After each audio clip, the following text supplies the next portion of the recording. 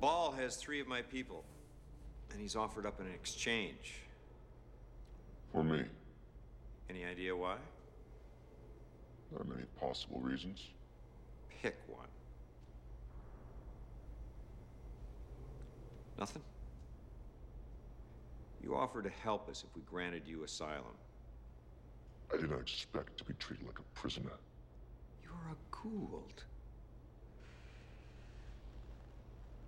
What are you going to do? Give me one good reason why I shouldn't turn you over. Ba'al cannot be trusted. Yeah? No matter what you do, he will never return your friends to you.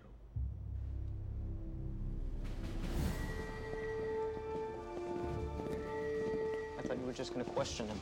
He didn't have the right answer. General, this goes against official policy regarding prisoner exchanges. Not a prisoner.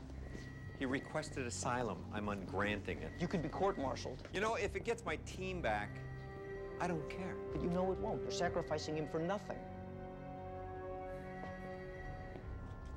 Go, go, go.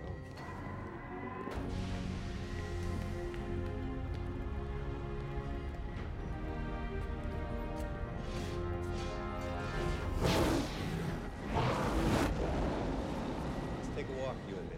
Come on.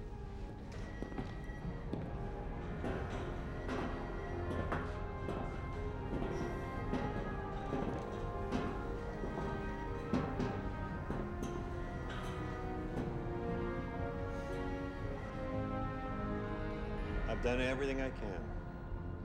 It's up to you. Last chance.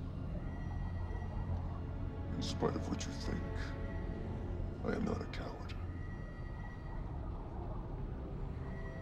I think you are.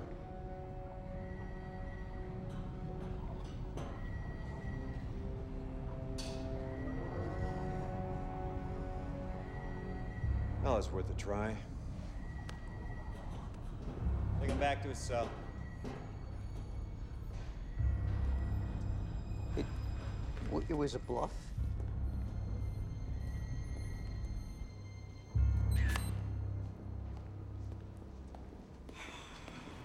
You could have told me, sir. How can I do my job if you don't trust me? Not my problem. Wait, wait, wait. Camulus would like to talk to you.